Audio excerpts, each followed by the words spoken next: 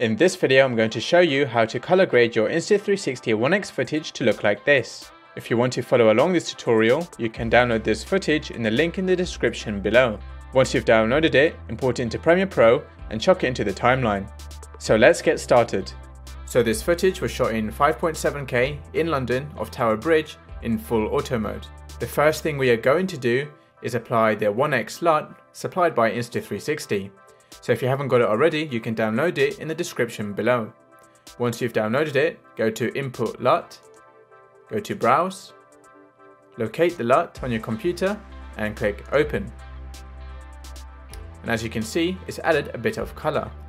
We are going to add some more color by increasing the saturation to 150. Now if we toggle VR mode, you can now check it out and see the before and after this has already made a massive difference, and any more tweaking of grading is personally up to you. What I would probably do is just drop the shadows by 25 to add a bit more contrast. Now this is an optional step, but you can download a LUT I created to give the cinematic teal and orange look.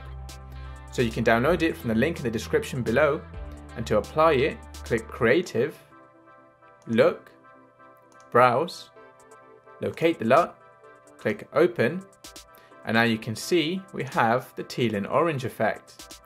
So now if I just toggle Lumetri on and off, you can see before and after. And that's it, you now know how to grade One X video. It's only 8-bit video so keep it simple and your footage will look beautiful.